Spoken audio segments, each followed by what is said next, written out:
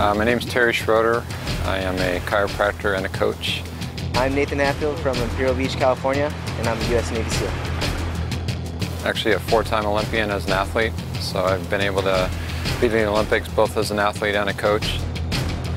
I used to play water polo in high school, played for four years at uh, Mar Vista High School.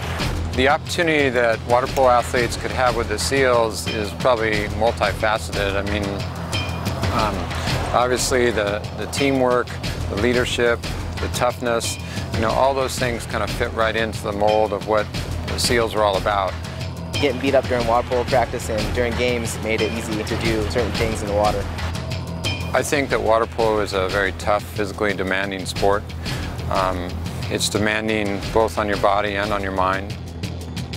Water polo definitely prepared me to be comfortable in the water. Some things are harder for other students. Because of water polo, I was able to do well at uh, the tread and the underwater knot tying and stuff like that. It wasn't as hard.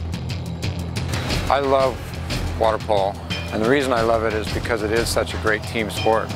Uh, to be successful, you have to understand what it is to be a team, and you have to understand what it is to give yourself to that team.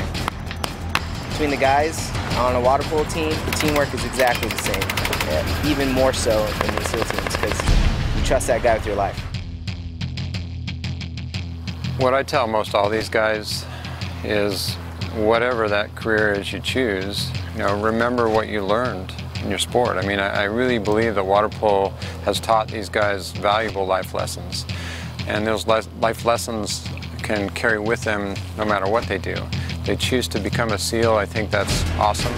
Uh, it's another way to represent your country. It's another way to give, you know, yourself to a bigger cause.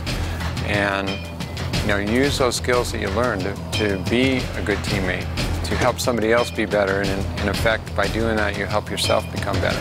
When you're over in country, you're really defending the guys that are there. I feel like when I'm there, I'm, I'm there to help them so they can do their mission and they can get home safely.